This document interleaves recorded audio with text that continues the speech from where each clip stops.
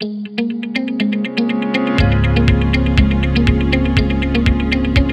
නඩුවකට මෛත්‍රීගෙන් ප්‍රකාශයක් ගනින්. පුර කාටුන් චිත්‍රයක් සහිතව අද අරුණ පුවත්පත තමයි වාර්තා කරන්න අල්ලි නඩුවකට අදාළව හිටපු ජනාධපති මෛත්‍රපාල සිරිසේනගෙන් ප්‍රශ්්න කර ප්‍රකාශයක් ලබාගන්නා බව පොලිසි අධිකරණයට ඊයේ දැනුම් දුන්න කියල තමයි එහි දක්වා තිබෙන්නේ තින් වනජීවී දෙපාර්තමේන්තුව භාරයේ සිට කණ්ඩුල මංගල සහ කංචන යන හස්තීන් කංචනනවයා කාංචන.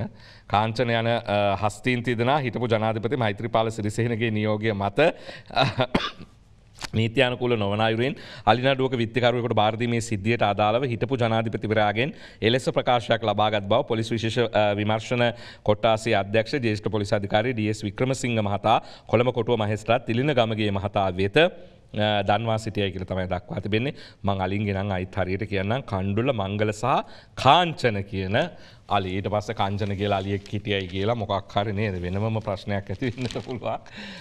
කාංචන කියලා අලියත් තමයි ඉඳල.